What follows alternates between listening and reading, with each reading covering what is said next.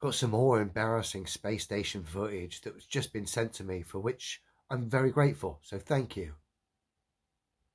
Essentially, it's very similar to a clip we looked at recently where the space station was being viewed from the space shuttle. But as we're about to see yet again, well, let's have a look.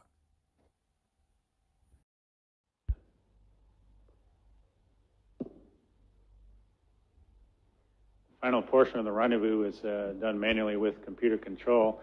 We fly up in front of the space station uh, about 420 feet, and then we uh, fly in, attempting to be as smooth as possible and uh, plume the station as little as possible to try to preserve its lifetime.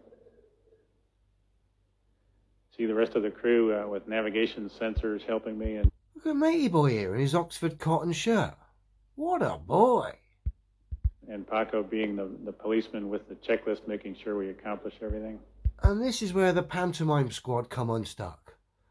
Our pal here is going to look out the window, supposedly at the International Space Station, and just like before in a previous clip which we looked at, the special effects department are going to let down all these space fantasists by layering in the space station inside, yet again, the window sill of the space shuttle. Oops. Let's bring it forward as it's going to full loop. Let's slow it down.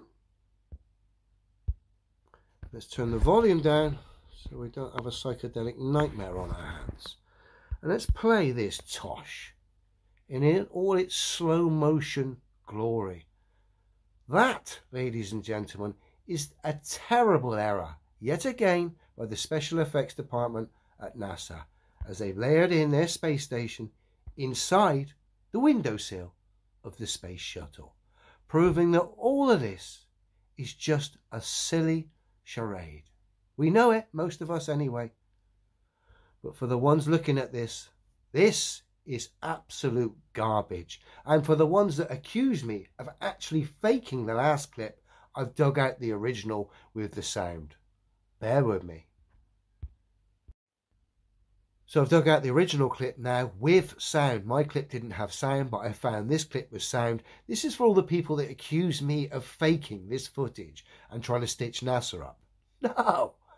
NASA stitch themselves up daily. I'm just one of the many people that highlights this tosh.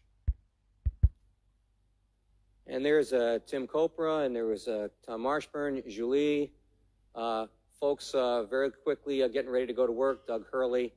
Uh, we haven't been up there very long. And after a couple days, it's time to go ahead and uh, find this thing called the space station. So fortunately, I... Don't worry about it, mate. I got it. I found it just now. It would appear it was layered in by the special effects department, but actually inside the window seal of the space shuttle. I'll tell you what I'll do to help, pal. I'll slow the footage down, and I'll turn the sound down. That way you'll be able to concentrate and see what a terrible job the special effects department did here in stitching you up with your space station. They layered it in actually inside the window of the space shuttle. Terrible stuff. Yet highly amusing for people like myself, and a great lever point to awaken people from deluded, and I mean deluded mindsets. Like I say, that's for all the people that accuse me of, of faking this footage. Nah, your own heroes, your own gods have just destroyed your own fantasy world. Love it.